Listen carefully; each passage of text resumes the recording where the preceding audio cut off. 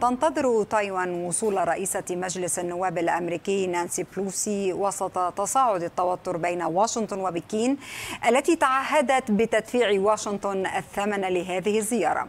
وفي حين رفعت لافتات في مطار تايبي ترحيبا بزيارة بلوسي قالت الناطقة باسم الخارجية الصينية إن الجانب الأمريكي سيتحمل المسؤولية وسيدفع الثمن في حال المساس بمصالح الصين الأمنية السيادية.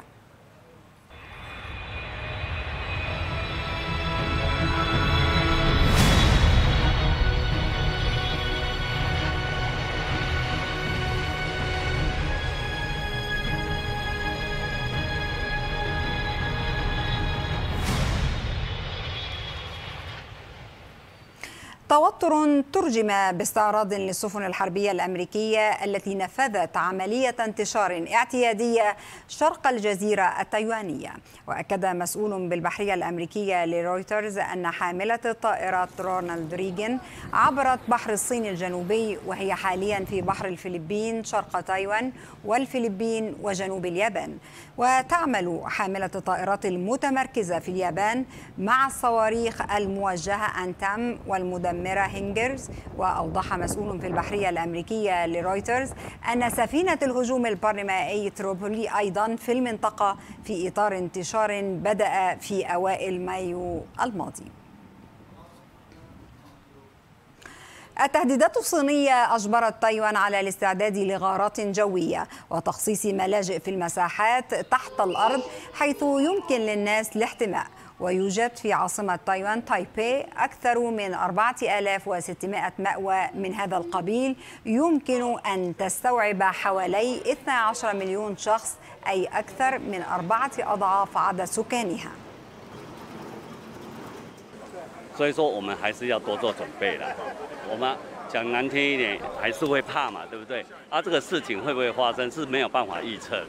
应该说，他平常会看到那些新闻，但是我会觉得说，呃，就是这样继续过下去，不会说特别，就是呃每天很紧张啊，还是什么的。但就是如果它真的发生了，它就会发生。Has a has a basement in their building.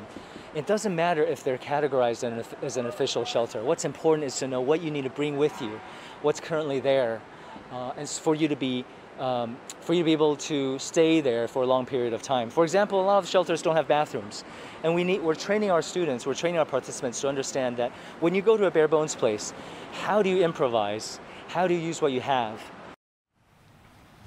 الكرملين دخل على خط الزيارة المتوقعة واعتبر أن زيارة بلوسي إلى تايوان من شأنها تأجيج التوتر في المنطقة. ووصف المتحدث باسم الكرملين ديمتري بيسكوف زيارة بلوسي المرتقبة بالاستفزازية. بدورها قالت المتحدثة باسم الخارجية الروسية إن موسكو تدعم مبدأ الصين الواحدة وترفض أي محاولات لاستقلال تايوان.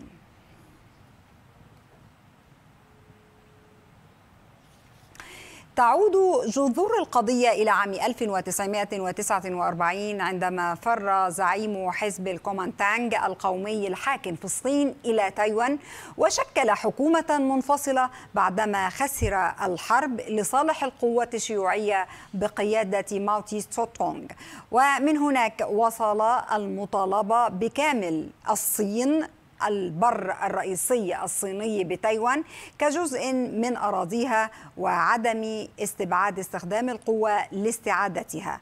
وظل الاسم الرسمي لتايوان هو جمهورية الصين في حين أن البر الرئيسي أطلق عليه جمهورية الصين الشعبية.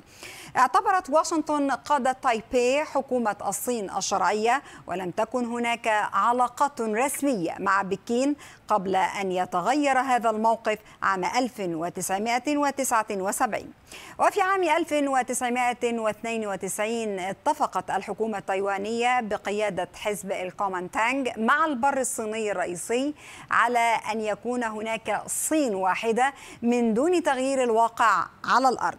في عام 1979 ألغت الولايات المتحدة برئاسة جيمي كارتر الاعتراف بجمهورية الصين وأقرت بحكومة بكين كممثل وحيد للصين ومع ذلك رفضت الاعتراف بالسيادة الصينية على تايوان.